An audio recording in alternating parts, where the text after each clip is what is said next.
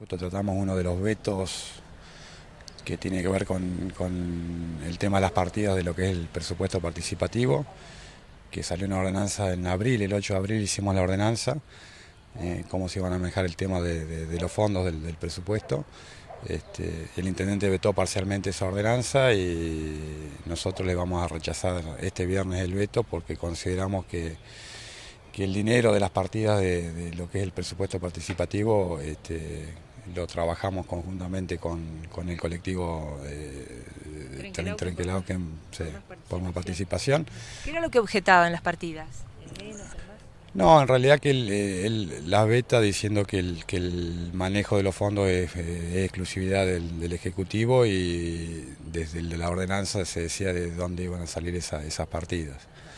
y obviamente que manejando el intendente podría llegar a poner mucho menos dinero para el presupuesto participativo de lo que correspondería.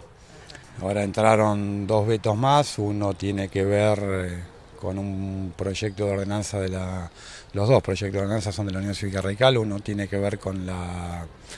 con el tema de la reelección tanto de concejales como de, de, intendentes que sean por dos mandatos. Eh, el Ejecutivo toma una posición y nosotros por ahí tenemos otra. Eh, es respetable porque cada uno tenemos una función. En el caso del, mandato del intendente como de los concejales, o la limitación del tiempo, eh, en cierta manera el espíritu nuestro era instalar el tema, empezar desde, desde los pueblos, porque si bien esto no está autorizado por la constitución de la provincia ni por la ley, este, la ley orgánica de las municipalidades, Creo que es hora también de que los cambios los empecemos a hacer desde, casa, digamos, ¿no? El intendente lo rechaza o lo veta por una cuestión que dice que bueno que está la constitución de la provincia de Buenos Aires y la ley orgánica de la municipalidad que no estarían avalando esto, en parte tiene razón, pero bueno, acá es, es marcar y ser pionero en algo que, que seguramente en breve va a salir en provincia de Buenos Aires también. Él tiene otro criterio y obviamente es respetable.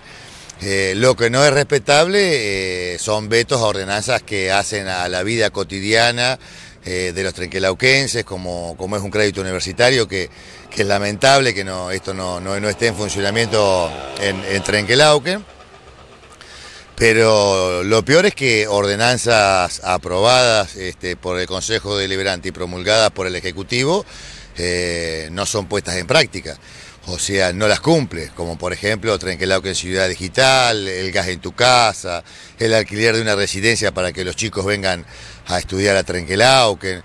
Y estas cosas sí duelen, duelen porque hacen, te vuelvo a repetir, a, la calidad de vida de la gente de Trenquelauquen. Estamos hablando de educación, estamos hablando de, estudio,